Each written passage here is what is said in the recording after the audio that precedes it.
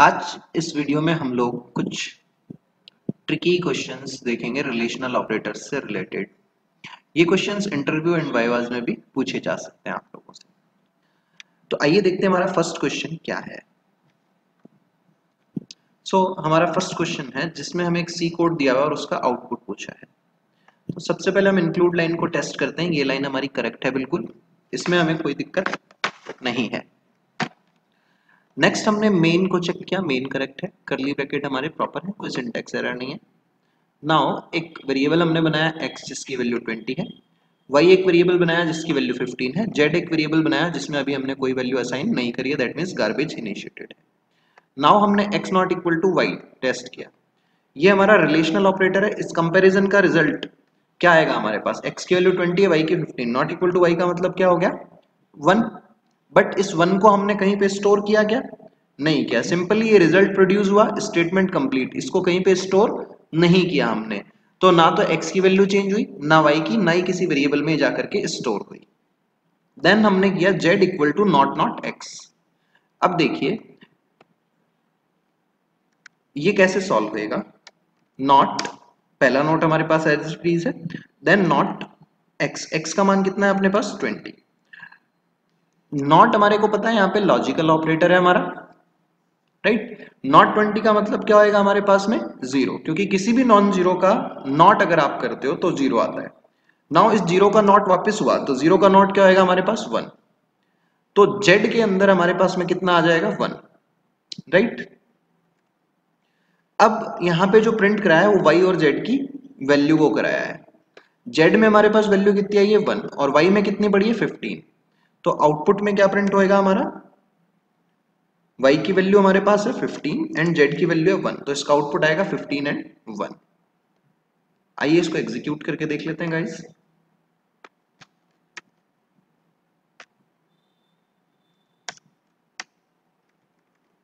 सो copy paste किया.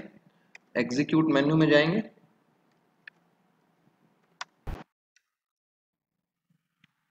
And compile and run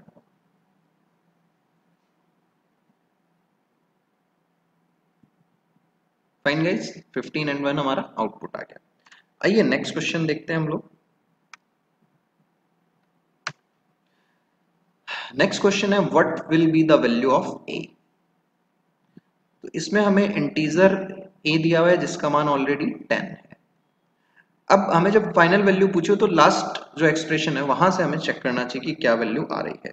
now ये expression क्या है? That is A equal to A बराबर 10 तो 10 इज़ इक्वल टू टेन इस कंडीशन का रिज़ल्ट क्या आएगा हमारे पास? वन यानी कि ए की जो फाइनल वैल्यू है, वो क्या होगी हमारे पास?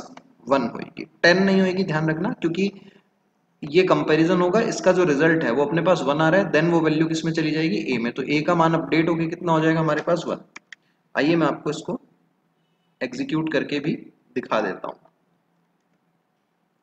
फाइन ये हमने कॉपी पेस्ट किया एंड यहाँ मैंने ए की वैल्यू को प्रिंट करवाया। So this is the output A की वैल्यू कितनी आ रही है हमारे पास? वन आ रही है। फाइनल वैल्यू हमें निकालनी होती है।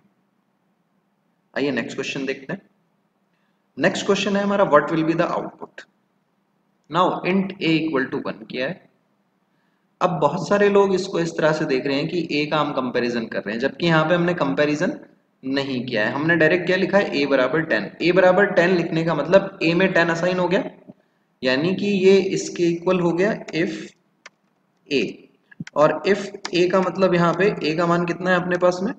टेन है। तो इफ़ टेन टेन का मतलब होता है कंडीशन ट्रू क्योंकि नॉन ज़ीरो वैल्यू है। इफ़ में अगर कभी भी नॉन ज़ीरो वैल्यू आती है तो उसको क्या माना जाता है? कंडीशन ट्रू माना जाता है। तो ये क्या प्रिंट करेगा? हेलो आइए इसको एग्जीक्यूट करके देखते हैं। ये असाइनमेंट ऑपरेटर हमारा यूज़ किया हुआ था। कंपैरिजन नहीं हुआ है यहाँ पे। फाइन हाँ अगर ये इस सिंगल इक्वल की जगह डबल इक्वल होता मतलब हम रिलेशनल ऑपरेटर यूज़ कर रहे हैं यहाँ पे। रिलेशनल का मतलब अब यहाँ पे कंपैरिजन होता कि ए का मान टेन है क्या? लेकिन ए का मान यहाँ पे टेन नहीं है। क्या है हमारे पास ए का मान वन तो जो a equal to equal ten वाली कंडीशन है, वो हमें क्या देगी? ज़ीरो ज़ीरो का मतलब कंडीशन फॉल्स तो अब ये एल्स पार्ट में जाके क्या प्रिंट कराएगा? बाय ठीक है गाइस बट क्वेश्चन में हमें क्या दिया है? सिंगल इक्वल सिंगल इक्वल का मतलब है असाइन दैट मीन्स ए का मान टेन हो रहा है, यानी इफ़ में क्या आ रहा है हमारे पास टेन टेन का मतलब है नॉन ज़ीरो नॉन ज़ीरो का मतलब है कंडीशन ट्रू तो क्या प्रिंट कर रहा है हेलो ओके गाइस आइए नेक्स्ट क्वेश्चन पे आते हैं हमारे। नेक्स्ट क्वेश्चन है हमारा what will be the output तो हम ये मान के चलेंगे, ये जो कोड दिया हुआ है हमें केवल इसमें टेस्ट करना है। इसके ऊपर नीचे जो कुछ है, वो सब कुछ करेक्ट है। ठीक है? तो ए में हमें कितना दिया ट्वेंटी फाइव बी में कितना दिया ट्वेंटी एंड सी में कितना दिया हमें? थ्री आइए यहाँ पे A less than B less than C को हम देखें। ये रिलेशनल ऑपरेटर है, दो बार यूज़ में हुआ है। रिलेशनल ऑपरेटर की एसोसिएटिविटी होती है लेफ़्ट टू राइट मतलब पहले A less than B solve होएगा देन उसका जो रिज़ल्ट आएगा, वो किससे कंपेयर होएगा? सी से। इसका जो A less than B less than C का जो सॉल्यूशन है A less than B less than C वो कैसे होएगा स्टेप बाय स्टेप सबसे पहले सॉल्व हुआ A less than B A का मान 25 बी का मान 20 तो क्या ए बी से छोटा है? नहीं है. तो रिज़ल्ट क्या आ गया हमारे पास? ज़ीरो एंड इक्वेशन क्या बच गई? ज़ीरो लेस देन सी अब ज़ीरो जो है, वो सी से छोटा है क्या? है. तो आंसर क्या आ गया हमारे पास? वन दैट मीन्स ये जो A less than B less than C है, ये सॉल्व होने पर हमें क्या दे रहा है? वन दे रहा है. वन देने का मतलब कंडीशन ट्रू तो प्रिंट क्या कराएगा ये? मिन इज़ ए ठीक है? क्योंकि इफ़ के अंदर जाएगा ये। अब आप लोग कई लोग ये सोच रहे हैं इस कोड को देख के कि ये मिनिमम प्रिंट कराएगा। मिनिमम नहीं प्रिंट कराएगा तो सिंपल अगर ये कंडीशन ट्रू हो रही है पूरी तो हमें क्या प्रिंट करा रहा है ये? इफ़ के पार्ट वाला मैसेज प्रिंट करा रहा है और फॉल्स हो रही है तो एल्स पार्ट का मैसेज प्रिंट करा रहा है। मिनिमम आपको निकालना है तो मैं एक मैक्स का वीडियो मैंने अपलोड किया है, वैसा ही मैं एक मिनिमम निकालने का वीडियो अपलोड कर लूँगा। या आप मैक्स से इजीली निकाल सकते हैं मिन भी तो आप उसको देखें। तो अभी इसका जो आउटपुट आएगा, वो प्रिंट करेगा मिन इज़ ए क्यों? क्योंकि इसके सॉल्यूशन का ऑर्डर ये रहेगा, पहले A less than B solve होएगा। A less than B solve हुआ तो उसका आंसर आ गया ज़ीरो फिर zero less than C solve होएगा, इसका आंसर आ गया वन इस वजह से इफ़ वाले पार्ट को ये रन करवा देगा। आइए मैं आपको उसको एग्जीक्यूट करके दिखा देता हूँ। This is the code and ये हमारा आउटपुट मैनेज ए हालाँकि ये गलत है मिनिमम नहीं है ए बट हमें कोड के अकॉर्डिंग आंसर बताना था। आइए नेक्स्ट क्वेश्चन देखते हैं हम लोग।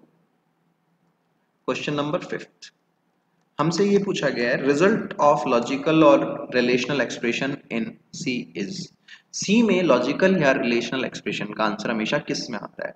लॉजिकल या रिलेशनल एक्सप्रेशन का मतलब होता है। रिलेशनल एक्सप्रेशन का मतलब जिसमें सिर्फ़ रिलेशनल ऑपरेटर और लॉजिकल का मतलब जिसमें लॉजिकल ऑपरेटर यूज़ में आ रहे हो। तो सी के अंदर जो रिलेशन या लॉजिकल ऑपरेटर है, उनका आंसर ट्रू या फॉल्स में आता है? नहीं। ट्रू या फॉल्स सी में एग्जिस्ट ही नहीं करता। जावा में होती है सी शार्प में होती है। सी में हमेशा ट्रू की बजाय हमारे पास आता है वन और फॉल्स की बजाय आता है हमारे पास ज़ीरो तो इसका आंसर क्या हो गया? हमारे पास बी ज़ीरो और one relational expression relation satisfied है तो आंसर वन देगा अदरवाइज़ ज़ीरो देगा। इसी तरह से लॉजिकल एक्सप्रेशन में भी, अगर हमारे पास लॉजिक की वैल्यू फाइनल वन आ रही है, या फिर वैल्यू हमारे पास क्या आ रही है? ज़ीरो आती है। नेक्स्ट क्वेश्चन देखते हैं six which among the following is not a logical और रिलेशनल ऑपरेटर इनमें से कौन सा रिलेशनल या लॉजिकल ऑपरेटर नहीं है? नॉट इक्वल टू हमारे पास में क्या है? रिलेशनल इज़ इक्वल्स टू क्या है? रिलेशनल ये हमारे पास क्या है? बिटवाइज सॉरी लॉजिकल और ऑपरेटर इक्वल जो है, वो क्या है हमारे पास में? असाइनमेंट ऑपरेटर है. दैट मीन्स इसका आंसर हो गया हमारे पास डी जो असाइनमेंट है, वो लॉजिकल या रिलेशनल ऑपरेटर नहीं होता है. होप सो गाइस आप लोगों को वीडियोस पसंद आ रहे होंगे मेरे एंड ये क्वेश्चंस आपको अच्छे लगे होंगे. अगर आपको अच्छे लग रहे हैं तो please keep watching the videos and अपने फ्रेंड्स के साथ मेरे इस चैनल को शेयर भी कीजिए. एंड उन्हें सब्सक्राइब के लिए मोटिवेट कीजिए। Thanks for watching this video guys thanks a lot